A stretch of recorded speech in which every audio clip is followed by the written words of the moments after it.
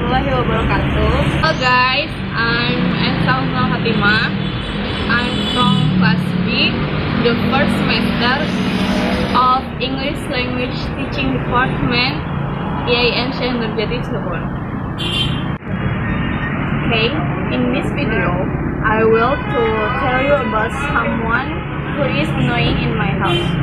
Okay, the most annoying in my house is my little brother.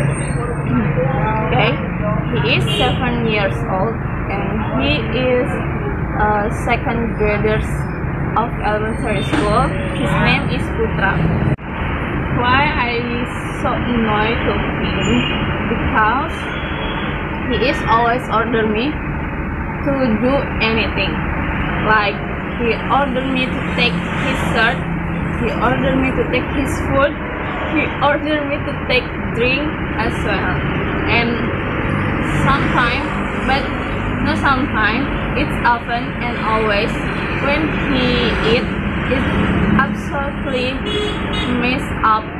And then he just left behind after he ate.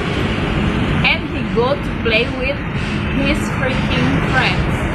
And then uh, when I want him to kiss me he is click my cheek and then however that he is the only one brother I had so I was always loving him and okay maybe just that I could uh, tell you about someone who is annoying in my house.